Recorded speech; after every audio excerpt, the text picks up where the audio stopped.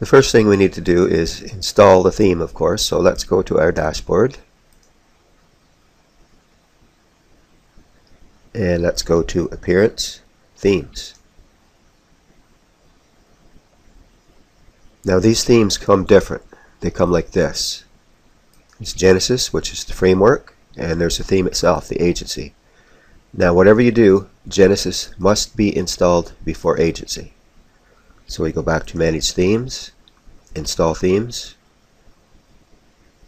Let's go Upload. Let's browse.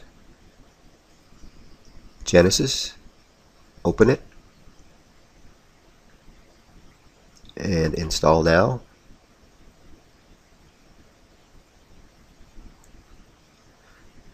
Activate it.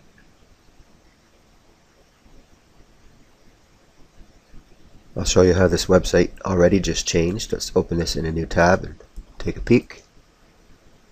Quite the change, isn't it? Now what we need to do is go back and install themes again. Once you have Genesis Framework installed, by the way, there are many, many themes from that company that you can actually install on your WordPress website. Let's go upload again. Browse. This time it's agency.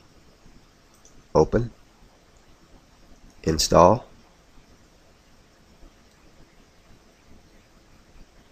Now let's activate this theme.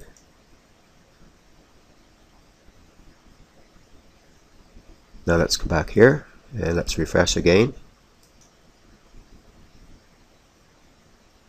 Okay, so we just went from what you've seen on the Intrepidity theme to what you see now on the agency theme. When I come back, I'm going to show you how to install a header.